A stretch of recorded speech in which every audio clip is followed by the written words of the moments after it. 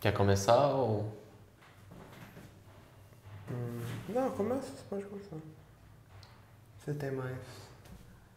É que eu não, eu não tenho mais Você tem- repertório você pra tem começar. Mais, você tem mais prática, não? Eu não tenho mais repertório pra começar. Não.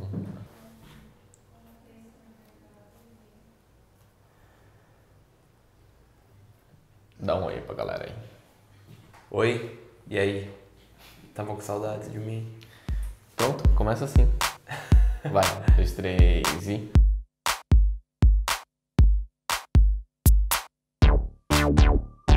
E aí? Não sei se vocês estavam com saudade de mim, mas voltei aqui pro On Air. Sou eu e Quem é você? sou o Guilherme, designer. Eu sou o Jaime, Guilherme de volta. Ontem ele deu um rolê de SAMU. E hoje a gente tá de volta com o Sneakers BR On Air pra falar de Nike. A novidade é o Sock Racer de Flyknit. Só que antes de começar esse vídeo, o Gui deu uma estudada sobre o Air Sock Racer. Aí vai falar um pouco dele e a gente vai depois mostrar as novidades. Bom, o, o Airstock Racer é um dos modelos mais antigos da Nike e até do mercado como um todo que exploram esse lance do tênis de meia. Hoje ele pode ser considerado um precursor do que a gente conhece como Flyknit, como tricô tecnológico. Ele surgiu em 1985, tem uma certa divergência em relação às datas, né? Porque a Nike tem divulgado como o primeiro lançamento dele em 1986. Tem até o lance de, ah, depois de 31 anos ele está de volta. Porém, desde 85 já rolam tanto fotos dele quanto anúncios e revistas. E até essa volta dele nesse ano era divulgado como se 1985 fosse o ano em que o, o Sock Racer surgiu. Então tem essa leve briguinha que ninguém entende o porquê que surgiu. Pelo menos nós consideramos como 1985 porque foi o que sempre foi, foi dito, né? É, acho que é alguma coisa rapidinho. É, acho que é uma coisa semelhante, sei lá, com o Superstar também. Tem um pouco desse lance de quando que ele realmente nasceu. Porque acho que ele foi vendido no final do ano e aí depois. Mas que seja.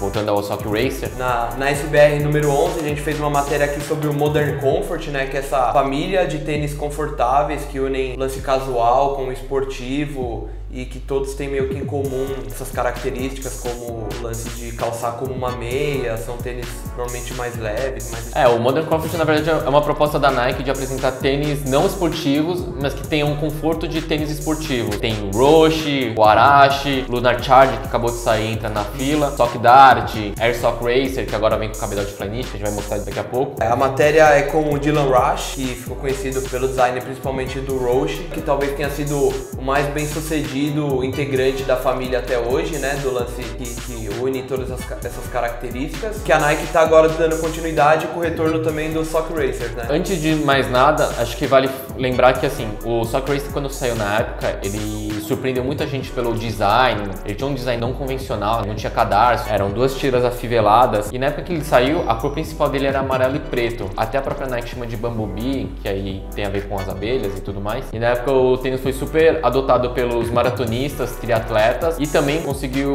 é, angariar fãs fora do esporte. Mu- Muita gente considera ele meio um clássico cult, assim, não, não sei muito bem o que isso quer dizer, mas ele foi precursor, assim, ele, foi- ele derivou outros modelos como Air Sock, Air Flow, Air Current, que também é irmão direto da Air Flow, e o Aqua Sock. E aí em 2014, depois de muito tempo esquecido, ele fez um primeiro retorno mais tímido, que era no pack Genealogy of Free. Era um pack que celebrava todo o desenvolvimento da família Free pela Nike. Eu arrisco dizer que o Air Sock Racer, na época que ele saiu, ele trazia duas coisas que eram, assim, foram sempre obsessões na história da Nike. Primeiro, o tênis que calçava como meia, sem muita costura, sem muito painel, era um cabedal de nylon com um pequeno pedaço de, de suede solado de borracha. E a outra obsessão da Nike também era com calçados que emulassem a passada natural. Queriam um tênis que tipo, passasse a sensação de que você estava correndo descalço, correndo, andando descalço. Foi assim que nasceu a família Free. Por muito tempo, os modelos da família Free, eles traziam números. Então, quanto mais próximo do zero, era mais próximo da, da pisada natural. Tem o 5.0 que foi muito famoso, teve o 3.0, com 1.0 que na verdade era só uma palmilha dentro de um, de um tênis, no caso era o Hyperfeel. E aí agora a Nike deixou de lado essa, essa numeração e hoje só data como Free. O Sock Racer de Flyknit, ele une assim duas opções da Nike e ele volta atualizado com a tecnologia que a Nike conseguiu desenvolver 31 anos depois. Bom, vamos ver o tênis aí para ver qual o Até Até pra, pra complementar minha vasta pesquisa, achei até mesmo que saiu na época o Airsock Racer e uma versão trainer dele também. As tiras tinham como se fosse um reforço na parte de dentro do pé pra dar mais firmeza, pra dar mais suporte. O trainer era como se fosse um modelo mais pra, pra um treino funcional, poderia ser tanto de corrida quanto de outras coisas, no que a gente conhece como trainer até hoje. O Airsock Racer tradicional que a gente conhece era pra mais agilidade mesmo. Então, é, resumindo, o trainer era leve. um pouco mais pra, pra ser mais castigado,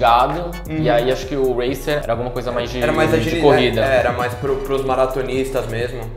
Bom, e num passe de mágica, esses são os Airsock Racer Flyknit. Essa é a nomenclatura oficial. Olhando de perto dá pra ver que ele traz muito mais coisa do que só tá descrito no nome. Tratamento Ultra no solado. Pra quem não sabe, tratamento Ultra é um jeito que a Nike encontrou de deixar os solados mais leves. Já foi usado em solado de Air Max 1, Air Max 90, Air Force One. O que mais que vocês lembrem de Até Ultra? nos outros Air Max clássicos, 95. O Arashi. Basicamente assim, a Nike foi e escavou o solado e tirou todo o excesso de material que ela achava que não era essencial pra estar tá ali. ela não não precisava estar ali. O que acaba acontecendo é que o tênis acaba ficando muito mais leve de verdade. E aqui, é, você pega o tênis na mão, você vai perceber que assim, o tênis é bem leve. O que, você achou dele, Gui? Eu achei bem interessante, eu achei bem legal. Acho que desde a época que começou, até o próprio Sock Dart retornou, ele deixou bem em evidência né, esse tipo de, de design, esse tipo de, de tênis que trazia com ele esse lance das meias. Achei legal o retorno e ver a forma como ele foi atualizado também acho bem legal. O Flyknit encaixou muito bem, acaba que não, não muda muito do visual, né? É, a silhueta comparado com o original, assim, ela, ela é bem, ela é bem fiel. O cabelo aqui é bem elástico em todas as partes. O painel traseiro manteve o,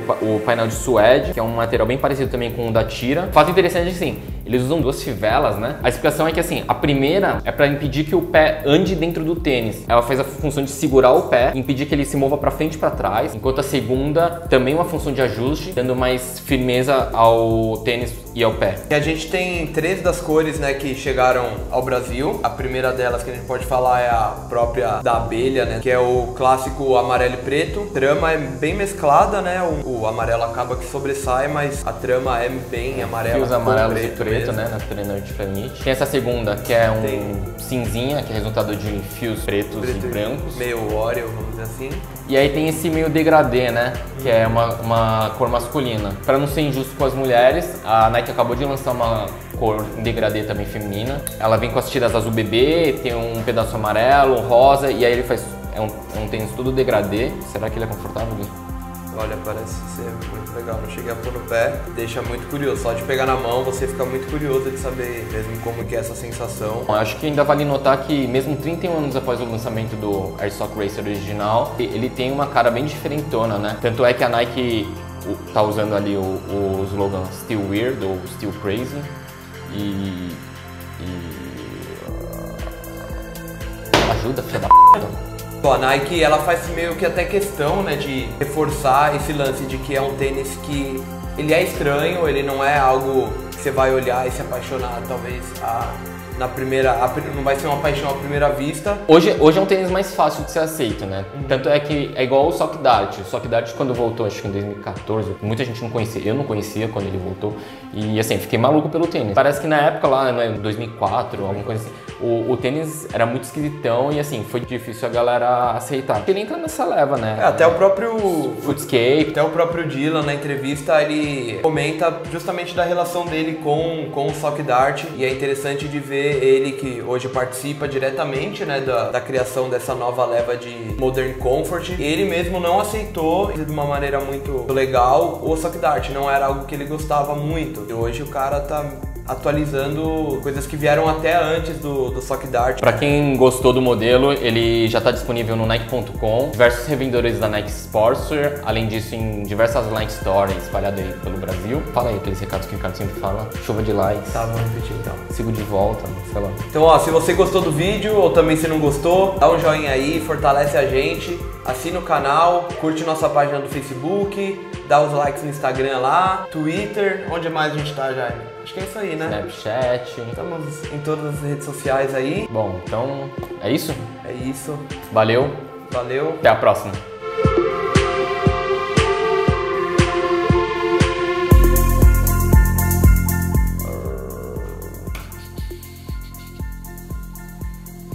Eu tô com a luz na cara. Eu fui olhar ali e só vi mancha, assim. Vai pagar aqui do meu lado, hein? Nossa. Você quer esse balde? Como é que você vomita? É sério? Não, não. Mesmo? Sério. Então beleza. Tô bem de boa. Dá, dá uma girada bem forte. A hora que parar, a gente. Você faz o gesto ridículo do passe de mágica.